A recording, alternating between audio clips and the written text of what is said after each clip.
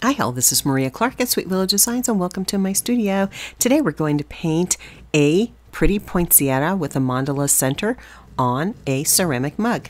I want to thank you all for watching this video and please don't forget to subscribe, give me a like if you enjoyed this content. I'd certainly like to hear a comment or see a comment from you about whether you enjoyed this particular uh, style of combining the two art forms together um, and whether you'd like to see more of this. Thanks again for joining me. The tools and materials I'll use for this project include uh, the paint, and we'll talk, uh, look at that in just a second. I also have a ceramic mug that I got from the Dollar Tree. Um, you can pick this up. Any color would be nice. I used a black, but you could use lots of different colors. We will use a brush. I'm using a number 12 flat, and then I'm also using my dotting tool set. For the paint, I'm using the DecoArt Americana Gloss Enamels in True Red, White, Primary Yellow, Festive Green, and Glorious Gold. And here's the 12, number 12 flat and my regular dotting tools. To get started, I've got the ceramic mug and I will take a little bit of alcohol and just clean that mug off really, really well so that I don't have any dirt or oil or anything on the mug. So to make the mandalas, I'll start off with a J10 6 millimeter for the center, and I'm just placing three. I'm going to have three poinsettias on this mug. So I'm just randomly placing them in various positions around the mug, uh, keeping in mind I don't, don't want to go too high uh, because you really should not have that paint at the top edge of the mug. And then I will dot around with a smaller nail dotter, 12 dots around. Uh, don't crowd your dots, so if you need to put less than 12, uh, that's fine too. You just want to get uh, the mandala center going. And that's as much as I'm going to do for the mandala center at this moment. And I'll go ahead and now I'm going to start painting the actual poinsettia.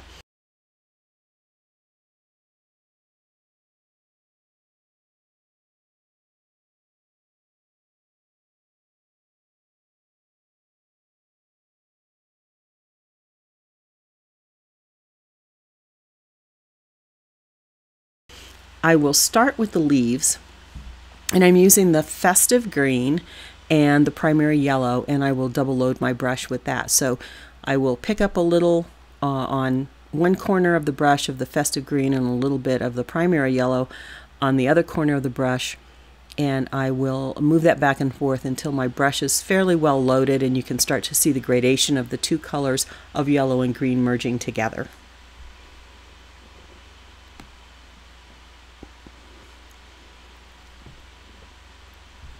Once I have my brush loaded, it's time to just start making the poinsettias.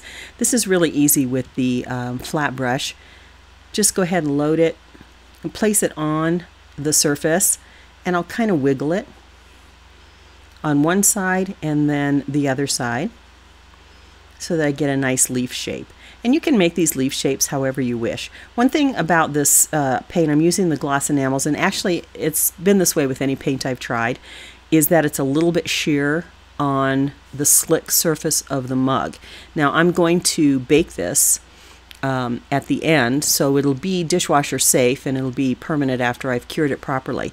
Um, but it's sheer so if you want to go ahead and get one coat down, let it dry, and come back in and put another coat, light coat on top, you'll get a little bit more depth of color. So I'm starting with my leaves and you can see that I'm placing those fairly far out from the center of the mandala. So I'm placing the green of the, the uh, poinsettia, the green leaves, and then I'm going to go back in with the red and I'll start to come a little bit closer to that mandala center. So again, I'm just randomly placing this and sort of a rule of thumb is to try to get like five or so leaves around um, the center of that mandala and that's not tried and true. I don't always follow that, but it's general practice or a good rule that you can just get five leaves and then you can start to fill it in. This is a really fun uh, technique and I think it really looks great. So see how I'm pulling that brush? I press down and then I release up and sort of twist it a little bit to get the shape of the leaf. And I'll do that around all three of the mandala centers that I painted.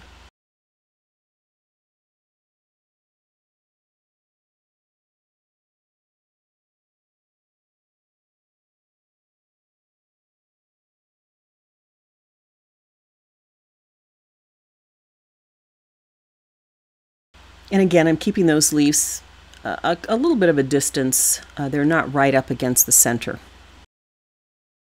Some are a little bit larger, some are a little bit smaller, and that's uh, how a natural poinsettia would look with the variation of the leaves. Now I'm going to go in with the true red and the white. I'm going to clean my brush off, make sure that it's, uh, I've taken all the excess water out of that brush. I'm going to load it the same way. So white on one corner, and then I'll have red on the other corner, and I'm going to load that brush so I get a nice grade uh, gradation from the white to the red, so I get a little pink center. And I'm facing my brush so that the white is in the center, but it really doesn't matter. Um, and I can actually vary that as I'm painting the poinsettia because there's a lot of variation in how the poinsettias look. And I'm just going to start to fill in around those leaves. Sometimes I'll go over the leaf, and that's okay if you pick up a little bit of that green. Um, I think that's great too because that just gives you another little depth of color. So I just pick up some extra paint when I need to reload my brush. And notice that I'm still not right up against the center. I'm going to place the larger uh, red and white uh, leaves and then I'm going to go back in and put some smaller ones in. Isn't that pretty the way we this looks? And even though the paint's a little bit sheer and I can see the black peeking through, I, I think that actually adds a little bit of depth and complexity to the color.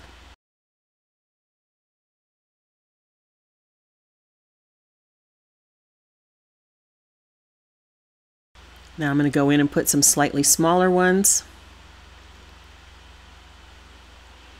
And I'll just twist that brush a little bit to come up on the edge and put some of the little uh, stems there.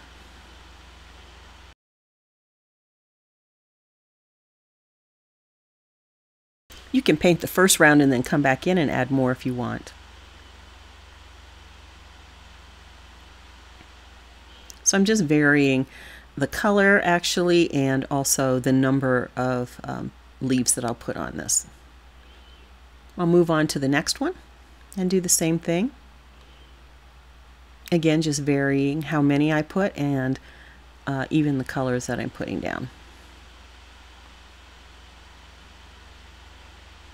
I'm not overworking this. I'm really kind of giving a, a sort of a sort of natural look to this.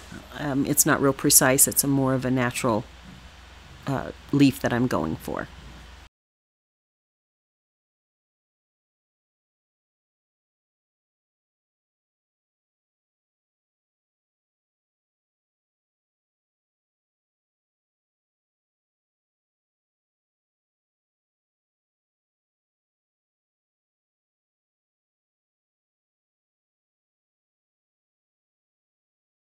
So I'm really enjoying the combination of the one-stroke painting and the mandalas uh, dot painting. I think those that's a really nice combination, and I think the uh, poinsettia mug is really really pretty. So again, I'm just going to keep putting these. I'm see you can see here that I'm actually overlapping the green, and that gives me um, some nice uh, variation to the color and also uh, by changing out how big I'm making these leaves I get a little um, a little chance to add some depth here. Sometimes the paint is more red, sometimes it's more pink, sometimes it's more white, and uh, that helps you give a little bit of definition to the to the leaves. And this is all sort of, you know, as you're as you're painting, you're sort of deciding how many of these leaves you need to put on. And when you need to refresh your paint, just add a little bit more.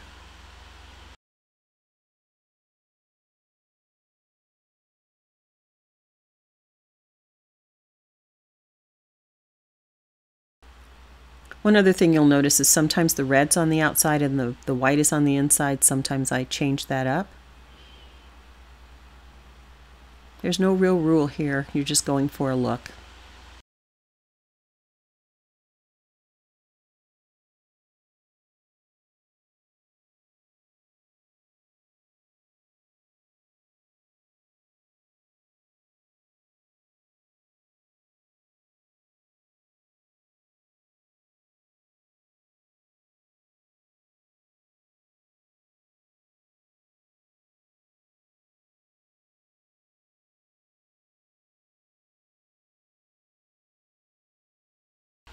Kind of refine that with my uh, nail if I need to.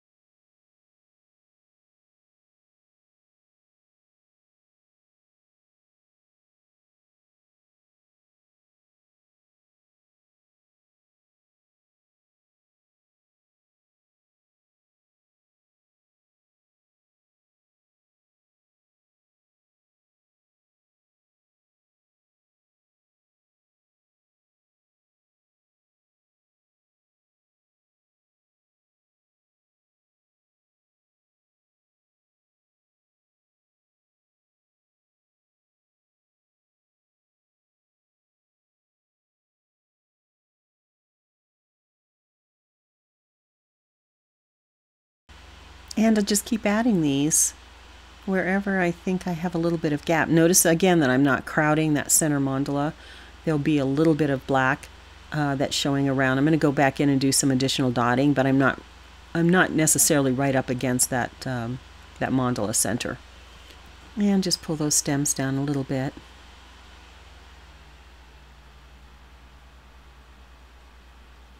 All right, this is how we're looking at this step.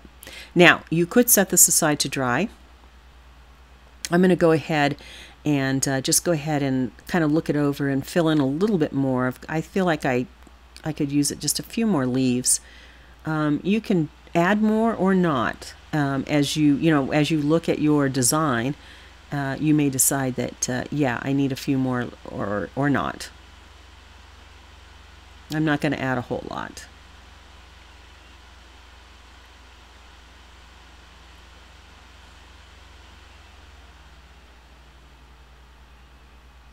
Okay, now I am ready to start dotting again. So I'm going in with the white and a smaller nail dotter and I'm just going to start to fill out the mandala. So I'm going in between the uh, previous row of red dots and adding a bit of white.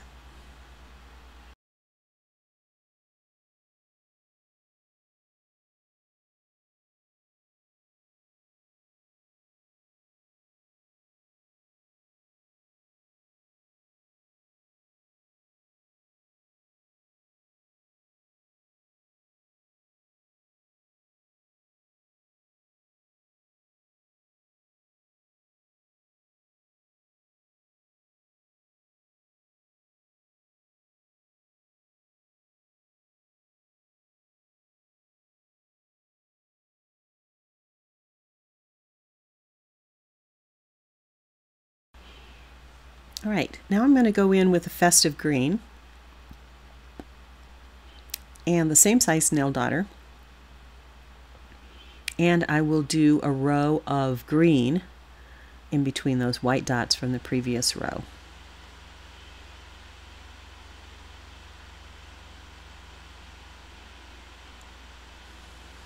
See how there's still a little bit of black space so that you kind of see the definition of the leaves. I think that looks great.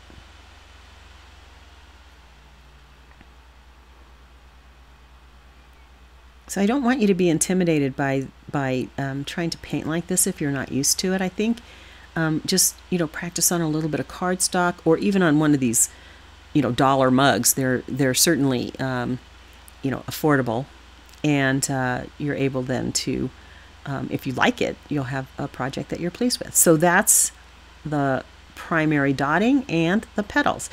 Now I'm going to let that dry and I'm coming back in now and I'm going to go in with Glorious Gold and I'm just going to start doing some accenting. So I'm using my G6 4 millimeter and I will place a top dot on the center of the red.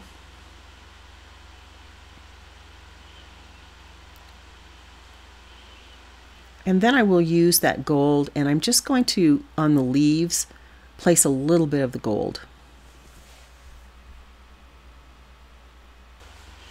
And I'm just randomly I place random uh, gold dots on the leaves themselves. Now I'm just placing it around the mug.